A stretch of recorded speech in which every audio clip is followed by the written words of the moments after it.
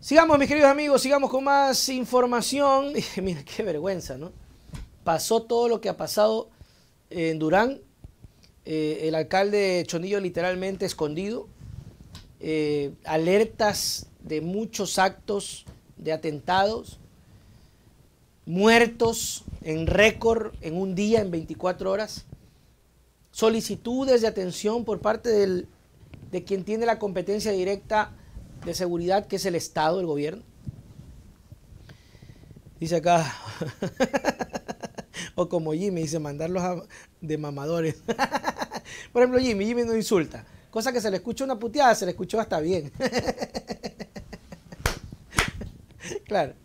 Yo no insulto, pero hay una, una puteadita, ah, se escucha acá. Recién llegó de Estados Unidos. Imagínense, oigan, qué coraje con esto.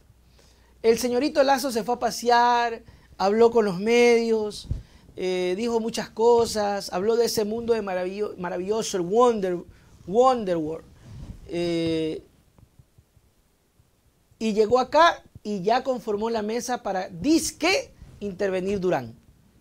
O sea, recién quiere intervenir Durán, porque se ha preocupado de las cosas que pasan en Durán.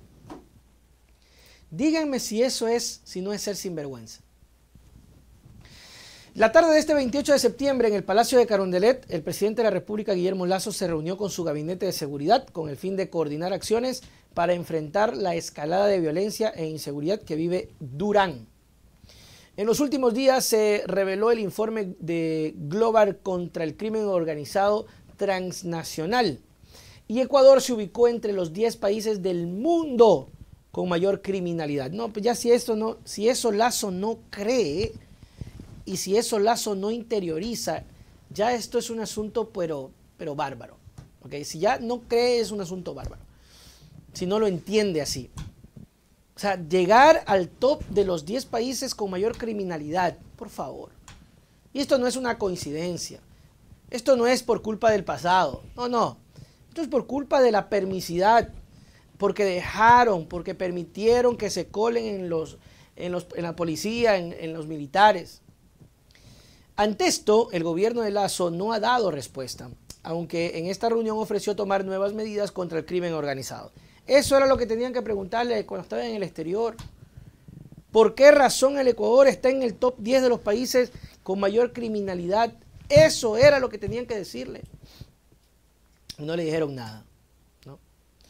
En la reunión participó el comandante de policía Fausto Salinas, que a propósito están buscando a Rengel, el jefe del Comando Conjunto de las Fuerzas Armadas Nelson Proaño, la secretaria de Comunicación Wendy Reyes, el secretario de la Administración Pública Sebastián Corral y varios miembros más del Ejecutivo, según una foto que publicó la SEGCOM.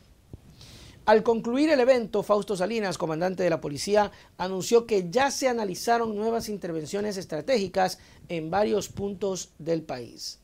Además, advirtió que estas intervenciones se, focalizan en los puntos más críticos en materia de violencia en el país, como las provincias costeras del Guayas, El Oro, Manabí y Esmeraldas. Hacen esta mesa técnica y obviamente no lo invitaron a Chonillo al, principal, como para que le cuente un poco la cosa cómo está, aunque Chonillo trata de estar eh, escondido precisamente por salvar su vida. Es una vergüenza, como ustedes lo quieran tratar, una vergüenza que después de esa gira internacional, después de que fue diciendo que somos un paraíso, el Señor nos venga a decir ahora que va a ser la mesa técnica de seguridad para empezar a intervenir Durán. Señor, Durán, Guayas, Esmeraldas, Manabí, el país. Sí, hay ciudades en donde afortunadamente no, llegan los niveles así. Eh, Quito, que no ha tenido estos, estas cosas, ya está teniendo, el otro día veía cómo secuestraron a una persona. Un asunto de verdad terrible y doloroso. Se acabó. en vivo y en directo.